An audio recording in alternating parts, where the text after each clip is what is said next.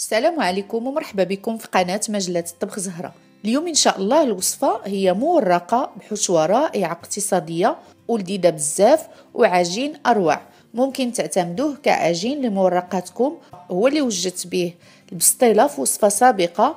غنخلي لكم الرابط ديالها أسفل الفيديو. فهو كيجي مورق ومقرمش. قبل ما نشوفوا المقادير وطريقة التحضير ممكن تشاركوني وصفاتكم وتطبيقاتكم على الصفحة ديال ال groupe ديالنا في الفيسبوك اللي غادي تلقاوها في الرابط أسفل الفيديو. وكذلك إذا عجبتكم الوصفة ديروا جيم وتشتركوا في القناة باش نبقاو على تواصل دائم إن شاء الله. أول حاجة نبداو بالحشوة. غادي نحتاجو بصلة صغيرة مقطعة مربعات ثلاثة ديال الجزرات محكوكين رقاق باش يطيبوا بسرعة. وجوج ديال القرع الأخضر حتى هما محكوكين رقاق 200 غرام ديال صدر الديك الرومي أو الدجاج مفروم علبة الفطر صغيره معدنوس مفروم زنجبيل طري وممكن تستغناو عليه إذا ما كانش موجود ملح زنجبيل ناشف فلفل أسود شوية ديال الصلصة الحارة حسب الذوق والقليل من زيت المائدة من الأحسن. كنديروا الزيت ثم كنضيفوا عليه البصل وكنوضعوا الكل فوق النار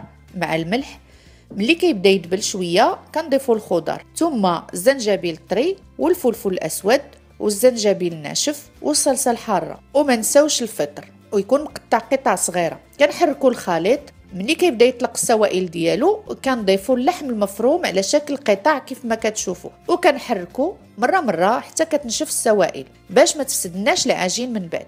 ملي كتنشف كنضيفوا المعدنوس كنحركوه دقيقة وكنطفيو عليه. وكنوضعوه في إناء أو لا في طبق باش يبرد. وكنمشيو نوجدوا العجين اللي غادي نحتاجو له 300 غرام ديال الدقيق شوية ديال الملح 7 غرام ديال الخميرة الكيماوية معلقة كبيرة ديال اليوغورت الطبيعي يعني الزبادي الطبيعي يكون بدون سكر. كنخلطوا الخليط كله بالماء دافي وكندلكوه مزيان بزاف حتى كيولي مطاطي بحال هكذا.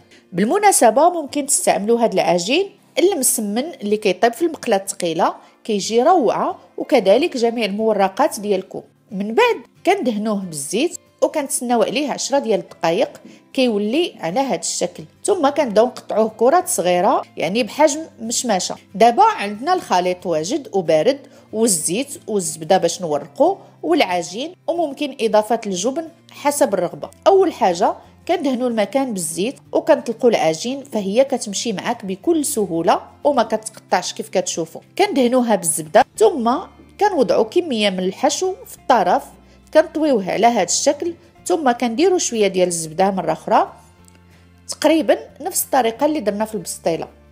وكنحاولوا تكون عريضة على شكل مستطيل. ودابا غنديروا شكل آخر كنطلقوا العجين بحال الأول يعني شوية بالطول كنديروا الحشوة كنديروا فوقها شوية ديال الجبن وكنلفوا الجوانب وكنعاودوا ندهنوا بشوية ديال الزبدة ثم كنلفوها على شكل أسطوانة يعني ماشي مستطيل بحال الأول غير باش تكون مختلفة على الأولى اللي ما فيهاش الجبن.